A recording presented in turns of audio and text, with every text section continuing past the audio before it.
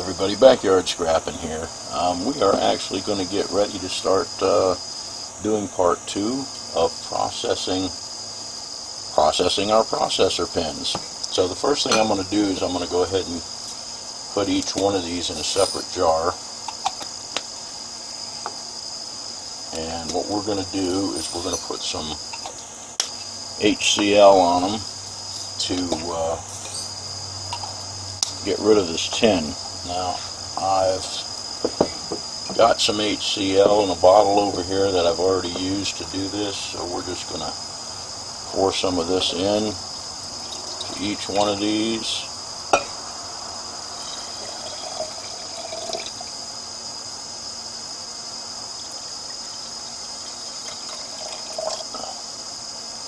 And as you can see, we're probably going to get straight away a little bit of a reaction. Go ahead and mix that up. And we're just going to let these pretty much sit in here for a little while. I'm going to put a little bit more in this one because we do have quite a lot of quite a lot of pins in there.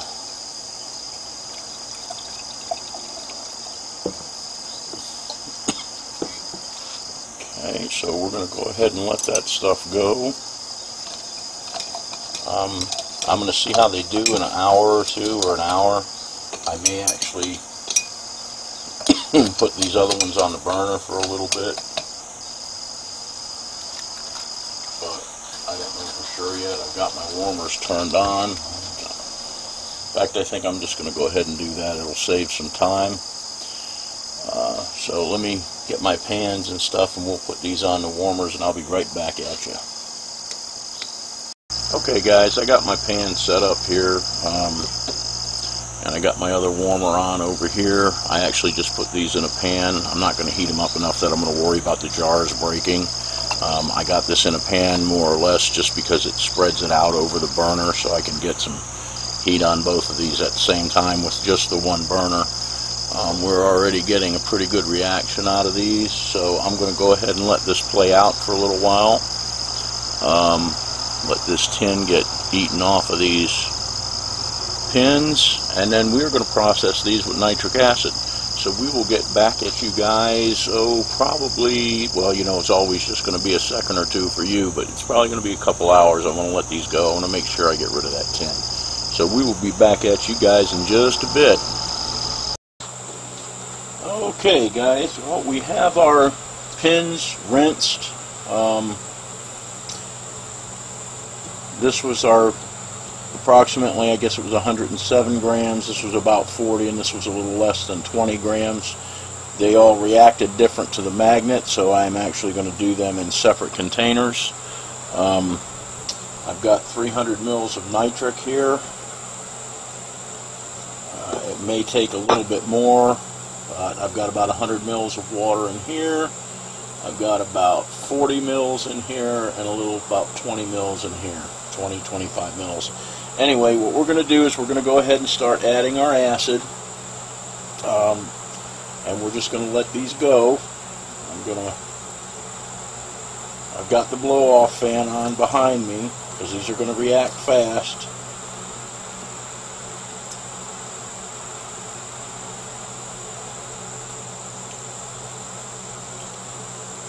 And we are just going to keep adding that acid and get our foils off of these pins and let them work and then we're going to refine our foils down. So I'll let you guys watch this for a bit and see what kind of different colors we get here. Looks like we're getting copper down there. Go ahead and add a little bit more acid to this one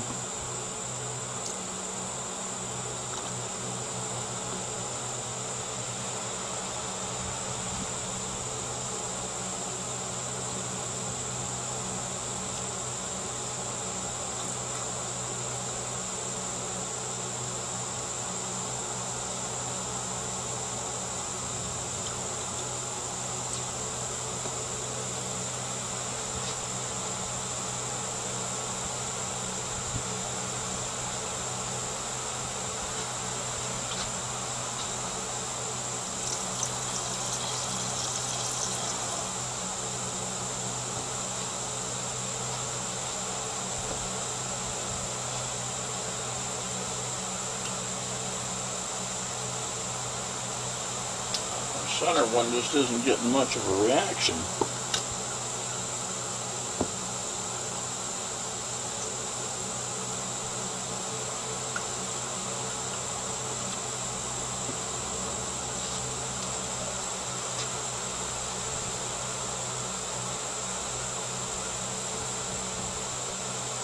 See, that's exactly why.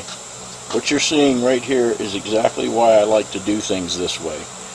You look at these two and the reaction we're getting, and you look at these. Almost nothing.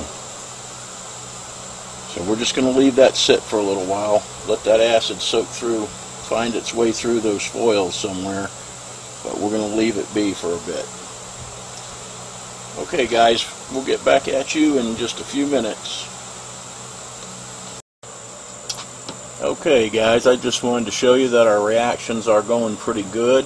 Um, the bigger beaker, we just it's just on its own. It didn't need any heat. The one that was, I believe, are the iron pins. Um, I actually had to put it on the burner and turn it on a little bit to get them to start working and it is working now and our other little bit you can see we're actually starting to break some foils loose there. This one's almost ready for a little bit more acid. And this one's almost ready for a bit more acid.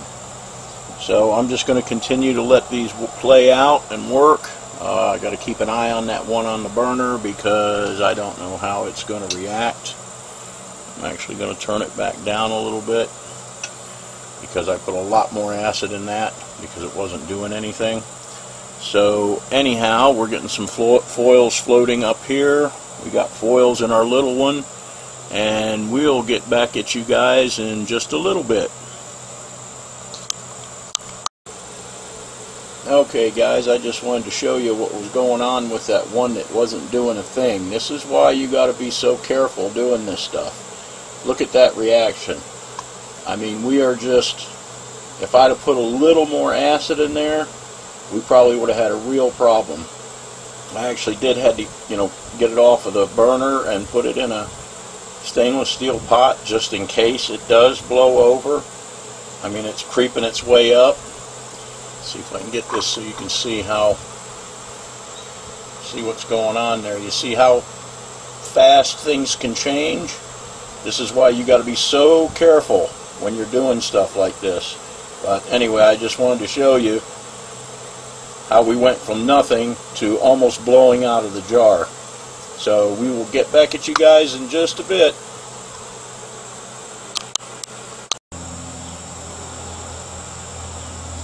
Okay, we are back. I just added a little bit more nitric acid to these two. They're doing just fine.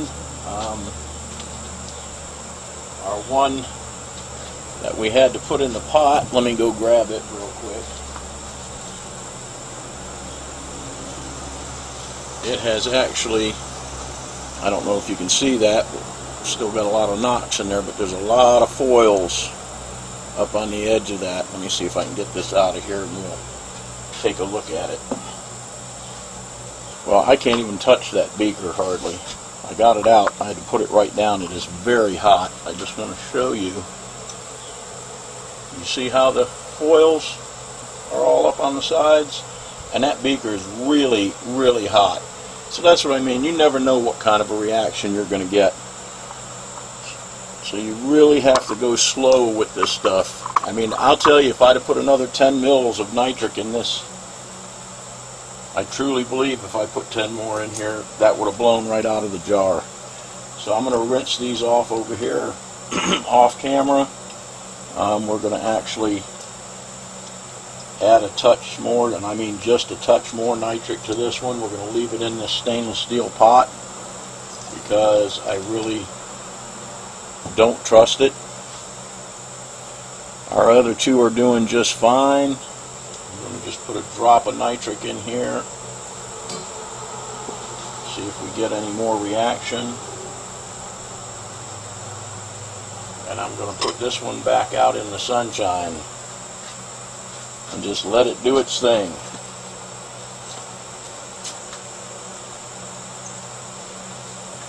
Okay, guys, we'll get back to you in just a little bit.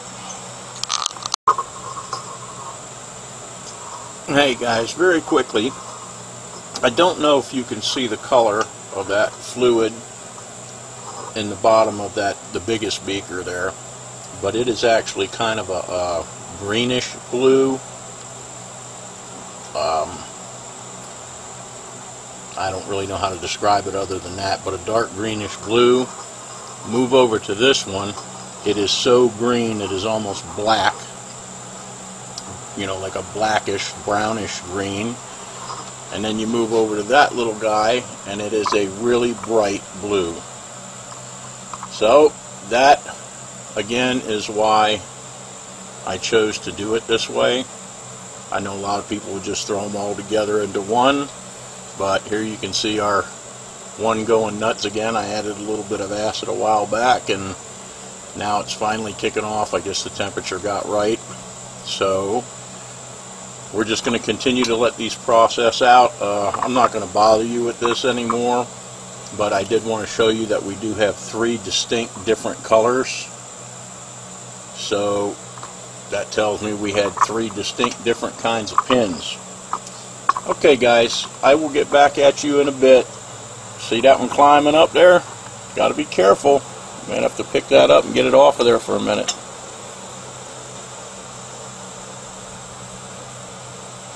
Alright guys, we'll be back at you in a bit. Okay everybody, several hours has passed. Um, we're actually still getting a reaction with these iron pins, or the ones that were really highly magnetic. I still got some solids down there. Um, I'm going to let them continue on. Um, I've actually already put in probably 150 or 200 milliliters more nitric than I thought I was going to use. I'm up to about 600 milliliters, and it's because of those. They are just not dissolving. Um, our other stuff is filtering out. Um, also, it appears there was a lot more tin left than I thought there was.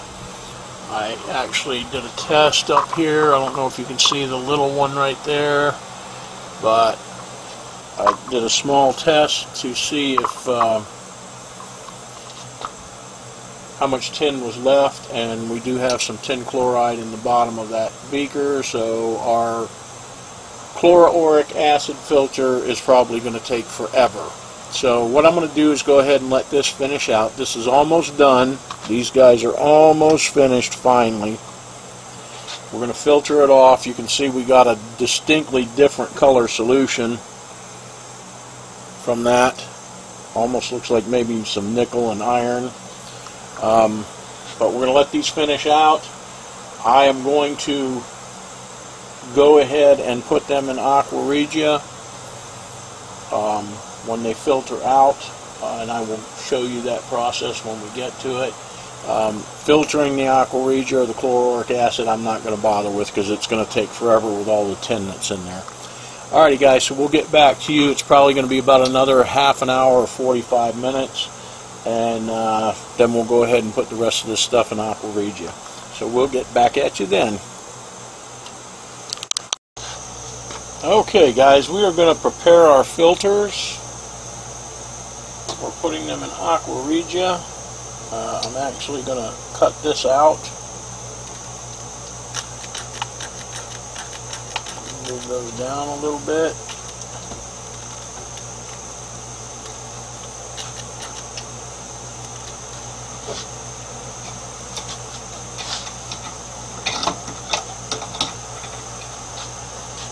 Little rusty scissors from sitting out here Hopefully I can still use them to cut this.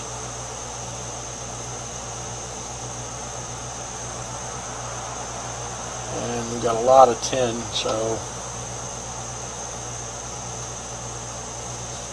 but that happens.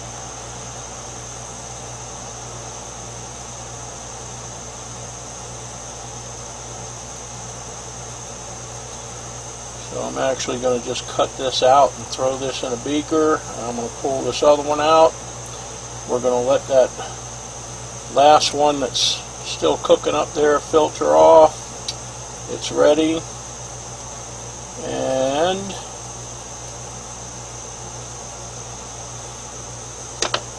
we will be ready to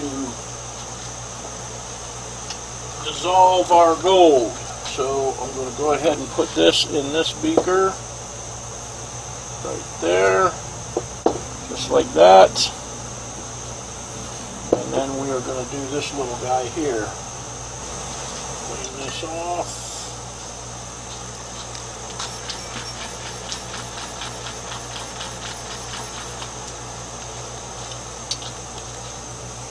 Set this out of the way.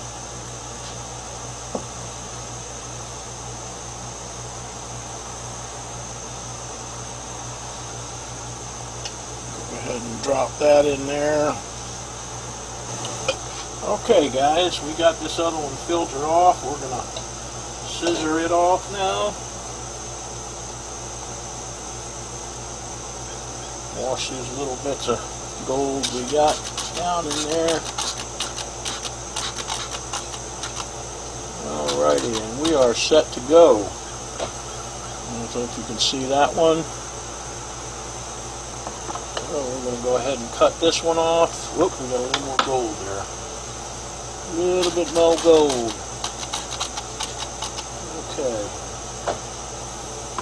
Now we'll cut this one off as close as we can.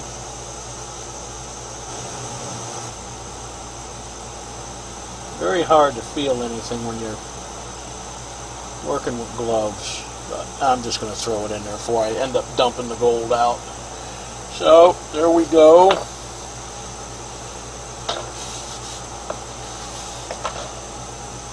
We are going to go ahead and put this down in there, like so. Hit it with some hydrochloric.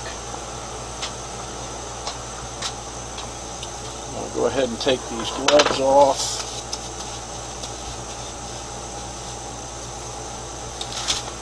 because we aren't going to be doing anything else that we need them tonight. Let me go ahead and put some hydrochloric acid in here.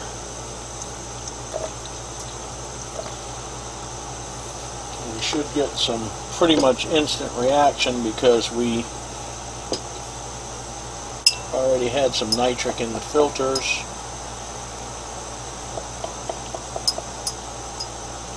we're going to go ahead and put a little more nitric in there.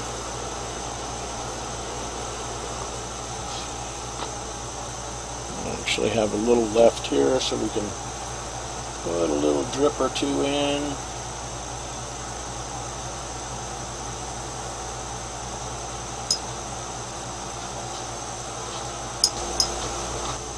Okay guys, we're going to just let this dissolve now and we will get back at you in a few minutes. Okay guys, you can see our stuff is dissolving.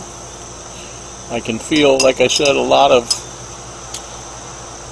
I believe there's quite a bit of tin was still left in here. I thought I got it all with uh, with my cleaning when I did the, you know, put the HCl in first to clean it, but apparently I didn't. Um, we're going to let that go like that. I'm going to go ahead and add this other little guy to it now.